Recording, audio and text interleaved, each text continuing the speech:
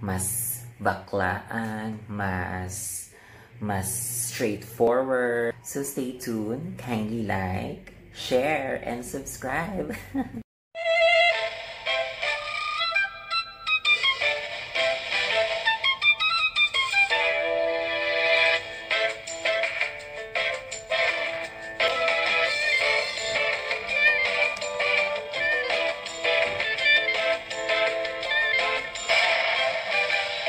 Hi, vlogger dears! Anong vlogger dears? Vlogger dears. Hi, vlogger dears! Mga kaibigan, mga kapuso. Ngayong araw, pag-uusapan natin ay walang iba kundi ang tungkol sa akin. well, ano bang pwede nating pag-usapan for today?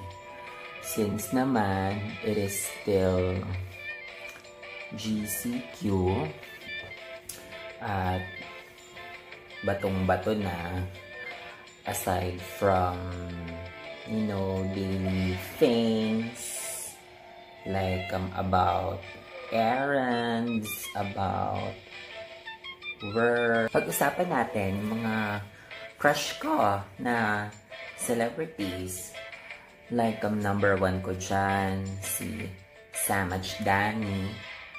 And then, si Josh Barfus.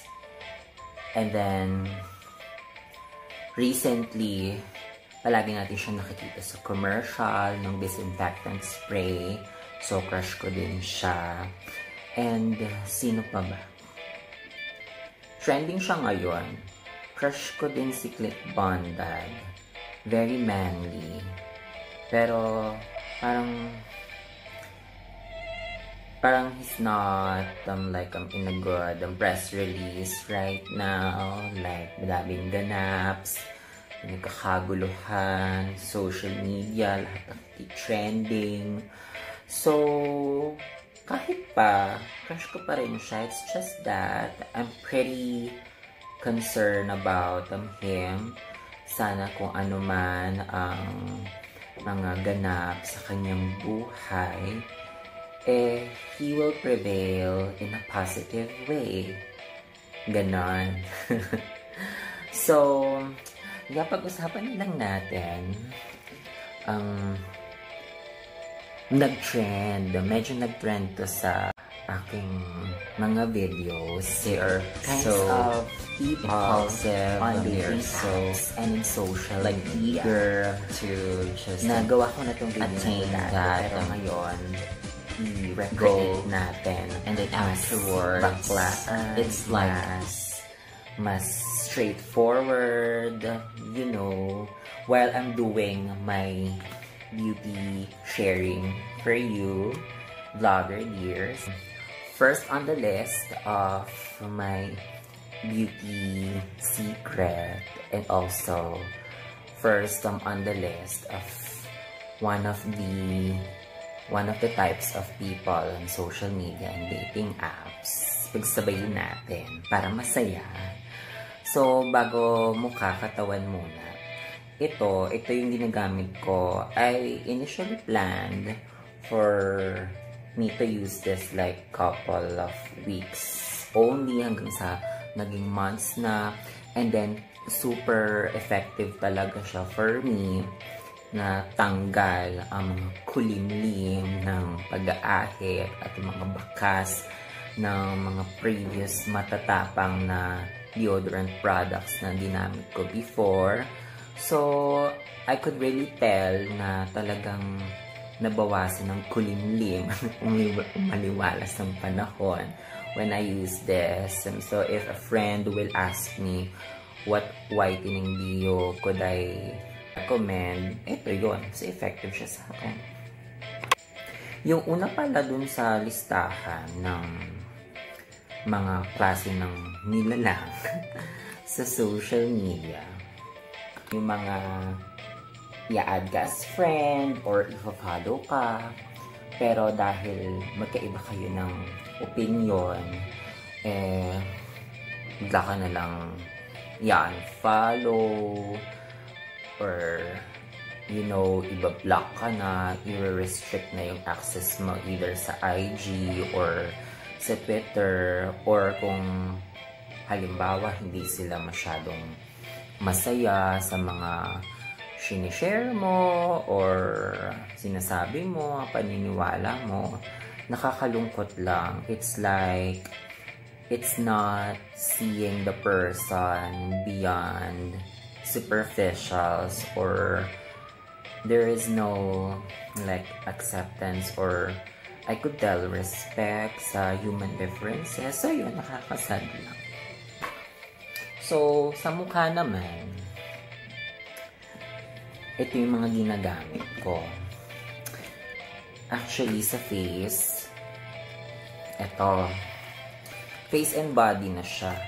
Lalo yung mga peklat-peklat na yan Talagang ito, malakas itong makabura ng mga blemishes, ng mga peklat. Pero kung hindi ko to ginagamit, for example, hindi ako naghilamos dahil ayoko magbasa ng mukha, inaantok na baka mawala yung antok ko. So kapag hindi ako nagbasa ng face, ito na nga. Ito yung ginagamit ko. This one. Ayan. Sabi nila, you just like put the product to your face. Like tap, tap, tap mo pag ganyan. Tap, tap, tap. Para yung product daw napupunta sa mukha diretso. Yan, ganyan. Pero ako kasi kapag, halimbawa nga hindi ako nagbasa ng face, pero gusto ko malinis, like partially yung mga whiteheads, blackheads, ma-get rid natin. So, ako, ginagamitan ko siya ng bulak. Ganyan. Mm-hmm. Ganyan. Yung second naman sa listahan ng klase ng tao, so second on the list is yung i-add ka, if-follow ka, and then after couple of hours, feren ka na ng networking or insurance. I have nothing against naman sa pagsusumika, pag-discarte, like yung pag o-offer ng networking or insurance. Just make it more appropriate in the proper timing. Hindi yung hindi nyo pa nga alam yung kung ano yung mga likes, dislikes, yung mga mga detalye like mga anong gusto mo, ilang taon na, offer agad. Parang, for me, it's a turn off.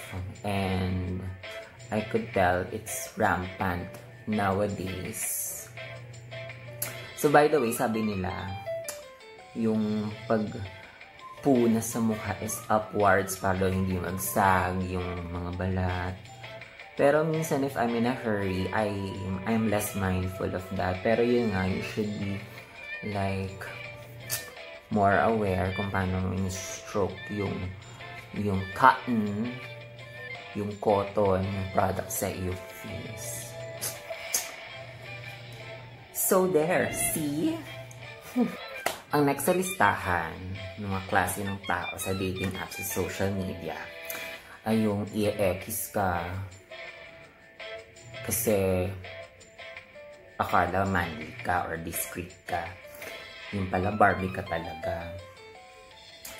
Well, that is the sad part sa social media, dating, you know, it somehow promotes for a person to be someone he or she is not.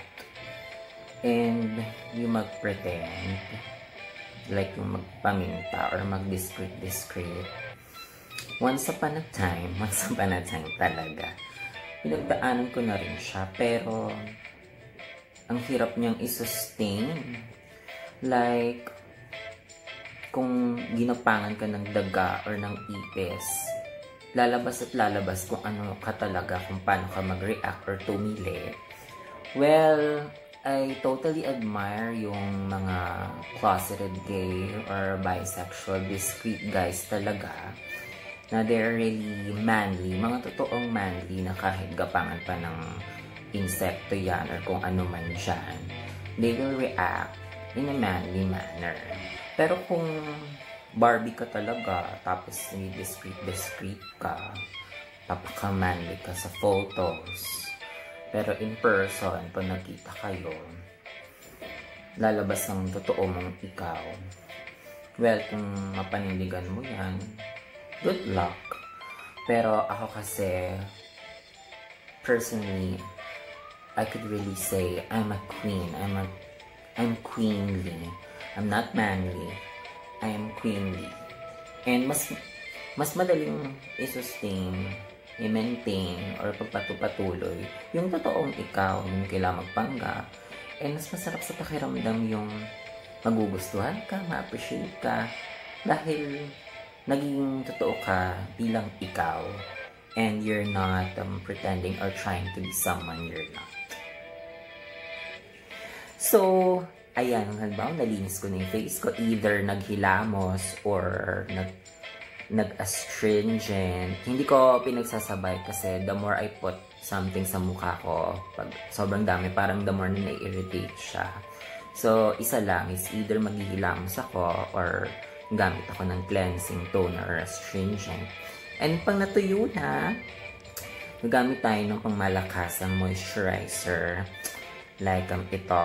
This is the one that is effective for me. Ayan. And ang gusto ko dito is hindi siya masyadong mabango. Parang scentless siya. Hindi siya nababother kasi ako sa mga products na sobrang bango. And like sa hair ko, curly pero gusto ko siyang i-maintain, to embrace my curliness. So, nagko-conditioner ako before na-try ko na sobrang halos lahat na ata ng mga conditioners. And yung mga mababango, like parang for me, siya effective. Like parang, para sa akin, the less scent, the more napunta sa product, effectivity. So, ayun. So, yung paglagay nito, syempre pang malakas ang moisturizer to, ano lang, mga 2 drops lang, ganyan. And then, kalat mo. And then, since this is age defying, so ako, lalagay ko siya sa mga wrinkle area. Like, sa noo pate, ganyan. Gentle lang. Tap-tap or in circular motion, ganyan. Ganon. Ayan. So far, nag-start naman akong mag-moisturizer high school pa, like 14 years old. Yung Pond's na maliit na bote, yung pink, yung may vitamin B3 ba yun, yung nakakaputi. So, ayun yung nakabawas sa kanognogan ko nung bata ako. At yung mga products noon talaga, I could tell, mas effective siya Ewan ko lang ngayon, siguro kasi the more na nagmumura yung product, parang some of them nawawala ng effect. But not all. Meron pa rin murang soap na effective sa akin kahit mura lang, kahit gagaya ng CY Gabriel medicated na green. Yun talaga yung nakakatuyot ng mga pimples ko. So, yung last type ng person sa social media, dating apps nowadays, is yung one day romancer, and then the following day, ghoster. Nako, mga daming ganyan these days, social media, mga, kaelhan, mga, mga kalibugan. you know, parang ang lambing-lambing, mga first chats, first hours, pero kaya may mararamdaman mo yung momentum, bumababa, tumatamlay hanggang sa next day, huyo ka na. So, yun, nakakalungkot lang. So, ang masasabi ko lang dyan, ang take ko is, you'll never go wrong if you're mindful. Yung parang investigador ka sa pagsiyasat ng consistency ng mga impormasyon, ng mga nakaka-chat mo. And at the same time, just be yourself. Gas-gas na, cliche na, pero hindi ko mahihirapang i-sustain or i-maintain or ituloy-tuloy kung pinapakita mo lang talaga kung sino ka. Gas-gas na, just love your skin. Pero yun talaga yun eh. Yun ang golden aral. And pag sinabing just love your skin, just love yourself, di ba ibig sabihin nun, pabaya ka na. Kaya nga meron tayong mga beauty regimen, pampaganda, kung ano yung hiyang sa inyo. Like, huwag tayong nagmag-alin lang, magpaganda. Kasi totoo naman yun. Panlabas, yun yung nakaka-attract ng tao. Pero what makes them stay is yung personality. Personalidad mo at yung totoong ikaw. So there, maraming salamat. Medyo naisa ng aking pagkabago at sa hapon na to. And um, feel free um, to visit my social media accounts. And also hit the notification bell button. Subscribe ka na sa YouTube channel ko. Maraming salamat. Um, stay safe, stay home still, and you have a good one. Take care always, vlogger dears.